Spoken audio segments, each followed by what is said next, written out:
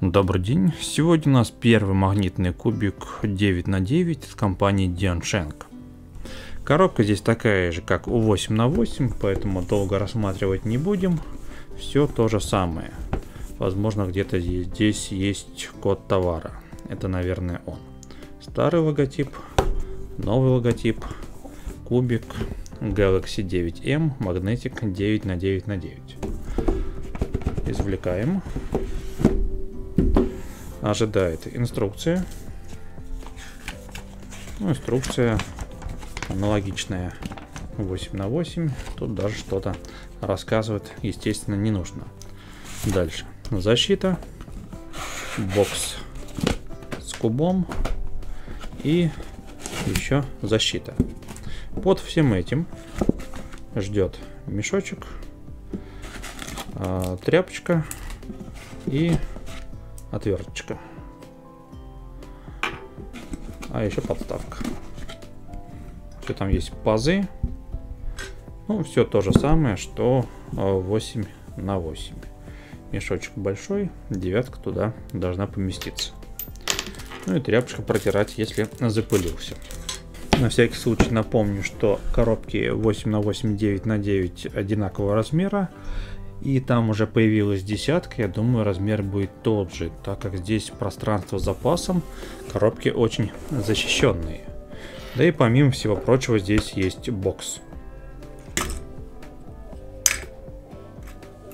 В боксе также места еще много, и думаю десятка сюда тоже поместится. Стоит в районе 5000, в Китае уже продается.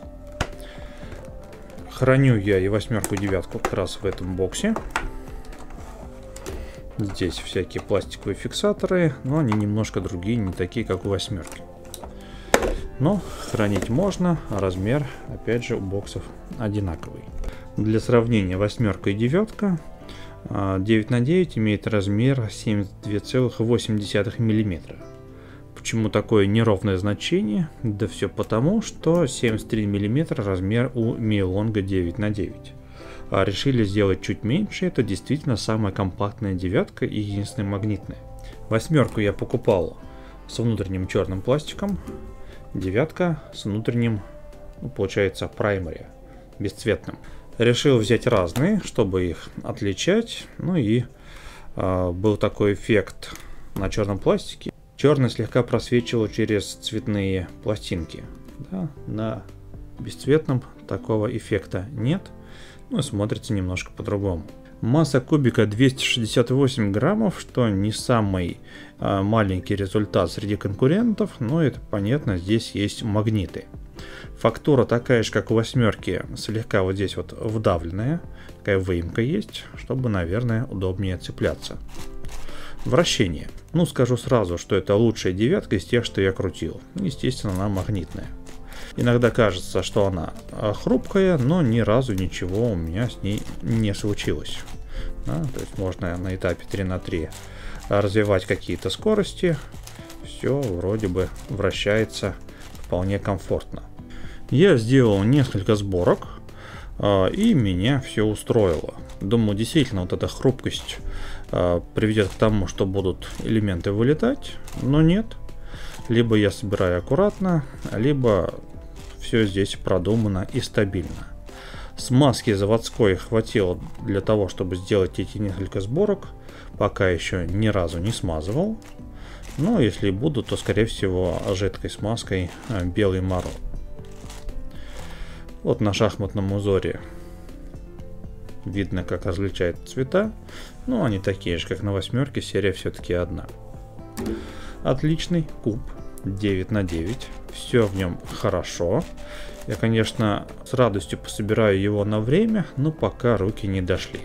На днях буду заказывать 10 на 10 и надеюсь он тоже не разочарует. Скорее всего возьму его тоже в черном пластике как восьмерку для разнообразия. А так, нечетный куб он, ну, скорее всего, должен был быть лучше, чем четный. И да, девятка из коробки сразу вращалась хорошо. То есть, если восьмерку мне пришлось чуть-чуть расслабить и покрутить, чтобы она пришла к своему идеальному вращению, то девятка вращалась хорошо уже сразу. И дальше она вращаться будет только лучше. Отличный кубик 9 на 9 Diansheng Galaxy 9M. А, и здесь в девятке как раз вот эта буковка М, наверное, актуальна. То есть если простые кубики там 3 на 3, 4 на 4, 5 на 5, не магнитные уже серьезные модель выпускать смысла нет, буковку М эту писать, то восьмерка, девятка это первые серийные магнитные, поэтому М обосновано. Весьма рекомендую. Брал также в Китае. В России стоит около 7 тысяч. В Китае сейчас тоже не очень дешево, примерно 4200. Такой кубик, но актуально на момент выхода видео. Может что-то поменяться. Восьмерку мне удалось купить совсем недорого. Сейчас цены чуть подросли. Если вот так вот задвинуть грани, можно увидеть, что магниты здесь разной силы. И сразу скажу, что подобраны они хорошо. Девятка вращается очень комфортно. Меня вращение вполне устраивает. Все здесь отлично. Я, конечно, для сравнения достал а, другую мою девятку. Это еще Sheng Show. А, для своего времени она была очень даже неплохой. Но тут все очевидно. Она сильно больше.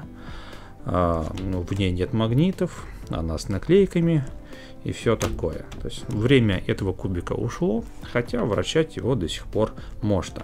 Других девяток я не покупал, хотел в свое время купить Мейлонг 9, но не стал, ждал Дианшенга. И ждал не зря, оно того стоит. Да, этот куб сильно дороже не магнитных версий, но цена обоснована. Очень хорошая девятка, всем рекомендую. А на этом все. Всем спасибо, всем пока.